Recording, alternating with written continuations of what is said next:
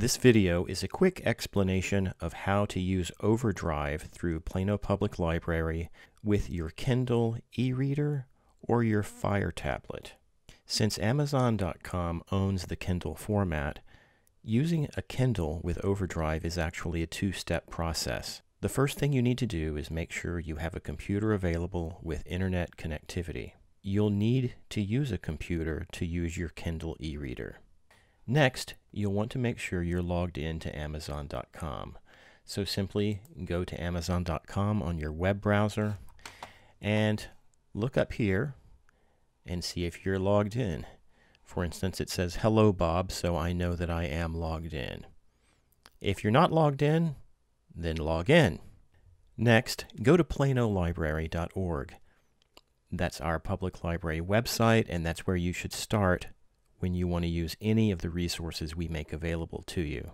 You'll scroll down the page until you see a link that says eBooks and More. Click that. That will take you to our eBooks and More page, which will show you a table with all of our downloadable and streaming content. The first item on the list is Overdrive, so you'll want to click Overdrive. This will take you to our account on overdrive.com. You'll be able to verify this because it actually says Plano Public Library, and you'll see in the address bar it says plano.overdrive.com. Next, you're going to want to sign in. You'll use the Sign In button and enter your library card number. I'm going to search for a book on gardening.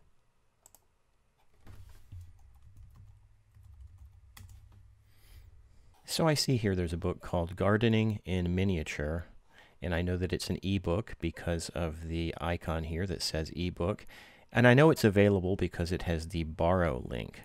So I'm going to go ahead and click borrow. I'm going to choose only seven days. You can pick 7, 14, or 21 days as you see fit. And again, click borrow. Now here's the tricky part where a lot of patrons initially get confused.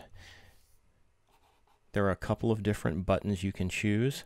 If you're going to use a Kindle, you're going to want to say read now with Kindle. So you'll click this link and it's going to take you to amazon.com to complete the transaction.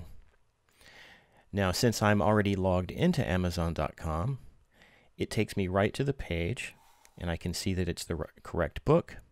And there's an area over here on the right that says Get Library Book. It has another menu below it that allows you to pick the device you want to put it on in case you have multiple devices you might read a Kindle book on. In this case, I'm going to leave it as Readatron 7000, which is my Kindle e-reader. And I'm going to click Get Library Book. Thanks, Bob. Your digital library book will be delivered the next time Readatron 7000 syncs. So, at this point, you've borrowed the book, you're finished with Amazon.com. I'm going to close that tab and I can close this window on Overdrive. And it's really as simple as that. Next, you're going to want to pick up your Kindle e-reader or your Fire tablet, make sure it's connected to Wi-Fi, and sync the device. Once you've synced it, the borrowed library book will appear on the device.